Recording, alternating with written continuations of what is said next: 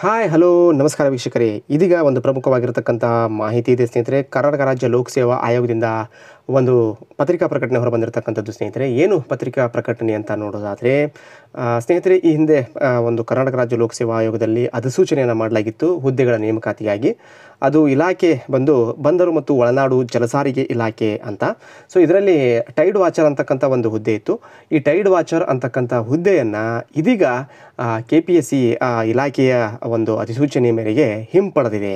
ಅಂದರೆ ಇಲಾಖೆ ಕೋರಿಕೆಯ ಪ್ರಕಾರ ಏನು ಮಾಡಿದ್ದಾರೆ ಅಂತಂದರೆ, ಕೆ ಪಿ ಎಸ್ ಸಿ ಈ ಒಂದು ನೇಮಕಾತಿ ಅಧಿಸೂಚನೆಯನ್ನು ಹಿಂಪಡೆದಿದೆ. ಹಾಗಾಗಿ ಈ ಒಂದು ಟೈಡ್ ವಾಚರ್ ಹುದ್ದೆಗಳಿಗೆ ಸಂಬಂಧಪಟ್ಟಿರುವ ಹಾಗೆ. ಅಂದರೆ ಏನು? ಬಂದರು ಮತ್ತು ಒಳನಾಡು ಇಲಾ, ಜಲಸಾರಿಗೆ ಇಲಾಖೆಯ ಟೈಡ್ ವಾಚರ್ ಹುದ್ದೆಗಳಿಗೆ ಅಧಿಸೂಚನೆ ಆಗಿತ್ತು. ಆ ಅಧಿಸೂಚನೆ ಇದೀಗ ಕೆ ಪಿ ಎಸ್ ಸಿಯಿಂದ ಹಿಂಪಡೆಯಲಾಗಿದೆ. ಸೊ, ಹಾಗಾಗಿ ಯಾರಾದರೂ ಅಭ್ಯರ್ಥಿಗಳು ಈ ಹುದ್ದೆಗಳಿಗೆ ಅರ್ಜಿ ಸಲ್ಲಿಸಬೇಕು ಅಂತ ಅಂದ್ಕೊಂಡಿದ್ದರೆ ಅಥವಾ ಅರ್ಜಿ ಸಲ್ಲಿಸಿದರೆ ಆ ಒಂದು ಹುದ್ದೆ ಇದೀಗ ಲಭ್ಯವಾಗಿರುವುದಿಲ್ಲ. ಸ್ನೇಹಿತರೆ ಕೆ ಪಿ ಎಸ್ ಸಿ ಆ ಒಂದು ನೇಮಕಾತಿಯನ್ನು ಹಿಂಪಡೆದಿದೆ.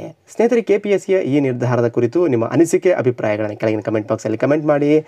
ಜೊತೆಗೆ ನಾನು ಕೊಟ್ಟಿರುವಂಥ ಮಾಹಿತಿ ಇಷ್ಟ ಆಗಿದ್ದರೆ ಲೈಕ್ ಮಾಡಿ ಮತ್ತು ನಿಮ್ಮ ಸ್ನೇಹಿತರೊಟ್ಟಿಗೆ ಶೇರ್ ಮಾಡ್ಕೊಳ್ಳಿ. ಇದೇ ರೀತಿ ಮಾಹಿತಿಗಾಗಿ ನಮ್ಮ ಚಾನಲ್ನ ಸಬ್ಸ್ಕ್ರೈಬ್ ಆಗಿ. ಮತ್ತೊಂದು ಮಾಹಿತಿಯೊಂದಿಗೆ ಭೇಟಿ ಆಗ್ತೇನೆ ಅಲ್ಲಿವರೆಗೂ ಧನ್ಯವಾದಗಳು. ಶುಭ ದಿನ.